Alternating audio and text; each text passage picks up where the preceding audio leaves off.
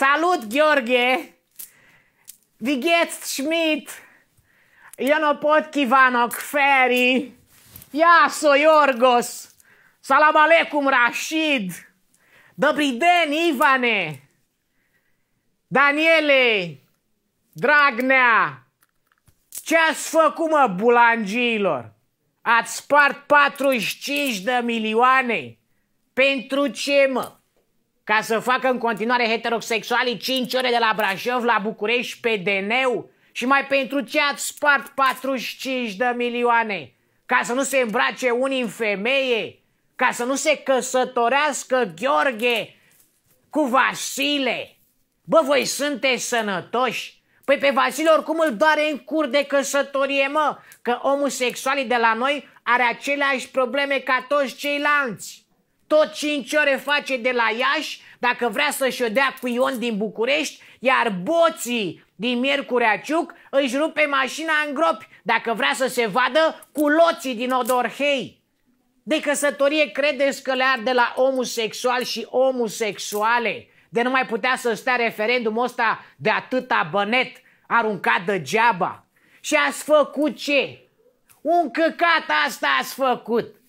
Păi de bani ăștia se termina metrou din drumul taberei și venea un milion de oameni la serviciu și în centru în condiții civilizate. Nu stătea jumătate de oră la intersecție la răzoare în fiecare dimineață și venea și homosexuali, dar venea și heterosexuali. Acum ce credeți că în intersecție oamenii înjură de homosexuali? Nu, oamenii vă înjură de Dumnezei, de anafură, de candelă și de Dragnea și de muie PSD-ul.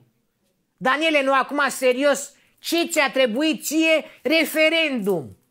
Crezi că ginuța de la litere anul 3, care se iubește cu Măriuca în cămin, în regie la P2, camera 18, cafetele, voia să se căsătorească între ele? Băi, ești prost, chiar atât de puțin te-a dus mintea că ai vrea să pare om cu gândire. Păi de 45 de milioane îți mai luai 10 clopote la catedrală, mă, și te puneai tot tu, fața ta pe toate, îți făceai selfie pe clopotele de la catedrală și trăgeai de ele când ți se scula ție să trezești tot București de centenar, Daniele.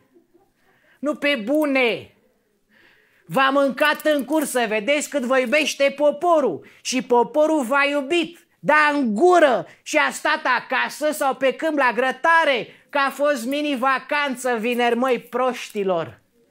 Păi homosexualii are probleme ca toți ceilalți heterosexuali cu taxele care le plătește dacă vrea să-și facă o firmă, cu nesimțirea celor de la ghișele de stat care pleacă la ora două acasă și îți zice să mai vii și a doua zi, cu mizeria din pădurile țării, cu șoselele de centură din toată România, de la București la Sebeș. Dacă le rezolvați pe astea, vă vota cu două mâini și homosexualii și heterosexualii, mă. În loc să faceți referendumuri pentru oamenii neinstruiți. Așa nu va vota decât o mână de rătăciți. Resta stat acasă și va arăta că dacă spui că s-ar putea căsători om cu plantă, nu o să vă creadă nimeni, că nu e nimeni atâta de prost pe cât i-ați crezut voi pe români. Nu e mă atâta de proști. Bun, și acum ce facem cu banii? De unde scoateți 45 de milioane să-i puneți la loc? Ca să se facă un spital mare sau un muzeu de artă? Sau să se termine ciotul ăla de autostradă care nu se mai termină la intrarea în București ca să nu mai stea oamenii cu orele blocați la Pipera? Că de votat, oamenii au votat, dar majoritatea a votat la urna mobilă. La aia din fundul curții, că s-a căcat în referendumul vostru de rahat. Apropo de rahat, Mă duc cu gândul imediat la Codrin Ștefănescu și nu mă pot abține să nu mi-l închipui pe cap de cauciuc făcând sex cu Dragnea și cu Șerban Nicolae, care îi place să vorbească cu sex anal. Ați văzut ce a făcut în Parlament. Deci nu mă pot abține mintea mea perversă și închipuie pe ăștia trei la căcâna, unde le place la politicieni să se dea în spectacol în fața poporului făcând sex mi închipui, ungându-se cu muștar pe corpurile lor grăsune și pupându-și unul altuia mititelul. Și peste ei vine din alergare prea fericitul Daniel în pielea goală, Ah, doamne, ce vă mai excit! Daniel țipând la ei, faceți loc că vin! Și prea fericitul sară peste toți ăștia trei, care se ungea cu muștar și încep să-și dea la clopot. Și patriarhul aruncă cu bagnote peste ei, uite așa aruncă, și Dragnea le prinde cu gura și se freacă cu ele pe țâțe. De 45 de milioane se freacă. Problema e că Dragnea chiar cred că o să se frece pe țâțe în curând, că l-așteaptă iubăreții din închisoare, oricât ar mai amâna el termenele la proces, băieții îl așteaptă și și ascute ștampulele cu care să-l ștampuleze în pușcărie în curând.